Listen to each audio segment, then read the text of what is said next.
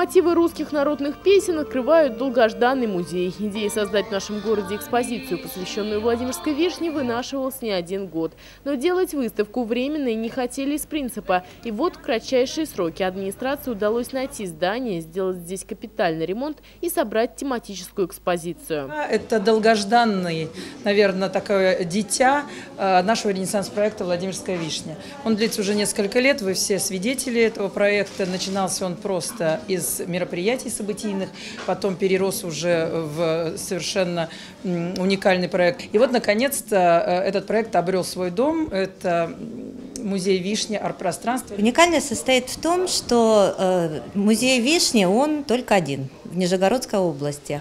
И мы постарались отойти от общих таких признанных норм и объединить здесь и историю, и художников, и живопись, и рассказать о том, что уже есть во Владимире, и что этот бренд не новый, а мы лишь восстанавливаем старые традиции. Всего здесь четыре выставочных зала. Первый посвящен истории Владимирской вишни. Здесь разместили раритетные фотографии Владимира и ценные экспонаты. Например, инструменты и сопутствующие материалы, которые использовались при сборе вишни. Этим граблям порядка 200 лет. Выполнен инструмент без единого гвоздя, специально специально, чтобы при сборе не повредить ценную ягоду. Специалисты рассказывают, сотни лет назад наш край был буквально усыпан вишней. Мы занимали первое место по количеству вишневых садов.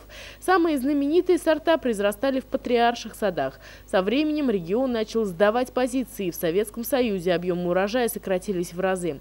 Сейчас в патриарших пытаются вновь воссоздать тот самый легендарный вишневый сад. В этом году сотрудники посадили самый элитный сорт Владимирской вишни – Васильевский.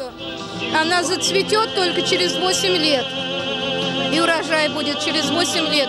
Это я говорю про Васильевскую вишню. Самую ценную царская ягода, которую подавали только к столу царям, патриархам, ну и знатным гостям. Напомнить о тех временах как раз и призван музей Вишни. И это не просто выставка. Само здание называют арт-пространством. Два зала отданы здесь под картинную галерею. Сейчас здесь размещены картины художников, в том числе владимирских. Тематика всех произведений связана с Вишней. Сердце выставки – картина Сальвадора Дали.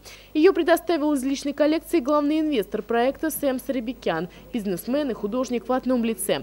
Он согласился вложить деньги в музей только с одним условием – создания в доме выставочных залов залов для начинающих художников. Эм, художники смогут выставляться, молодые художники, которые до этого не имели возможности выставиться в каких-то, на каких-то арт-площадках, смогут у нас э, выставиться и показать себя не только местным жителям, но также и туристам, что немаловажно для развития Организаторы обещают, здесь будет интересно как молодым людям, так и в возрасте. Помимо выставок, здесь регулярно будут проводиться мастер-классы, концертные мероприятия. А еще здесь можно будет просто отвлечься от будничной суеты и отведать напитки и сладости, приготовленные, конечно же, из Владимирской вишни.